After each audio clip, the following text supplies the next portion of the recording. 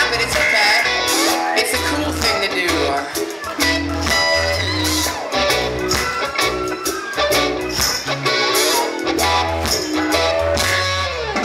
I'm in trouble, I'm an addict, I'm addicted to this girl. She's got my heart tied in a knot, and my stomach in a whirl. But even worse, I can't stop calling her. She's all I want and more. I mean zero.